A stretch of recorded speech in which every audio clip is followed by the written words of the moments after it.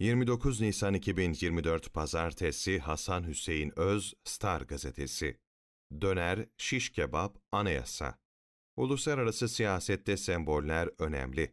Elbette hiçbir şeyi küçümsemiyoruz ama Türkiye'nin hala döner, şiş kebap gibi konularla gündemde olması da çok düşündürücü. Öte taraftan kozmopoliti Levant bölgesine Beyoğlu'na koşan Zadegah'ın misyonu üzerinden çağdaşlaşma tartışmalarını sürdürürsek, layık olduğumuz yerde burası galiba. En son Almanya Cumhurbaşkanı Frank-Walter Steinmeier, kendisinin karşısında hizalananlardan da güç almış olacak ki, pop sosyologların yorumlarına zemin hazırlayacak şekilde önlük giydi ve döner kesti. Böylece güya Almanya'daki Türklüğün kimliğine verdiği değeri göstermiş oldu. Ne de olsa Almanların insan yediği şeyden ibarettir diye bir deyimleri var. Pop sosyologlar hemen yorumlarını yapıverdiler. Walter Steinmeier, Almanya'nın kuşatıcı stratejisini döner üzerinden gösterdi. Neyse, bu tarz yorumlara alışığız.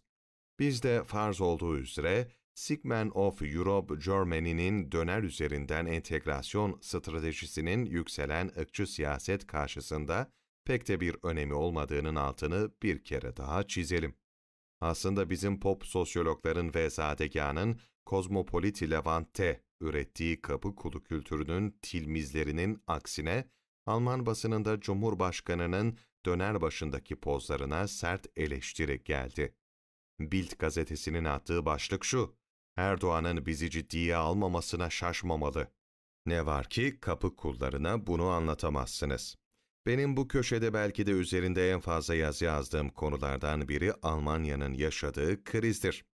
Özellikle Biden-Victoria Nuland ikilisinin kotardığı darbe sonrası Ukrayna üzerinden Rusya'ya karşı geliştirilen Amerikan stratejisinin vekil devleti haline gelen Almanya'nın krizi, bugünkü anayasa tartışmalarının da zeminini şekillendirmiş olan bizim kozmopolitçi, etnikçi, sol liberallerin müktesebatlarını dayandırdıkları Avrupa Birliği'nin akıbetini malum doğrudan etkiliyor.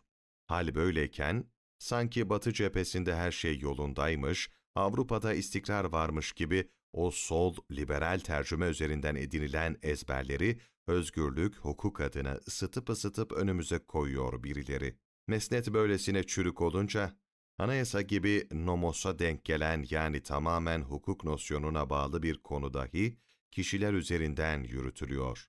İşte Osman Kavala, Can Atalay, Selahattin Demirtaş'ın artık serbest bırakılmalı söylemlerinin yeni anayasa gündemini belirleyen konuları şekillendirmesi ciddiyeti ortadan kaldırmıyor mu?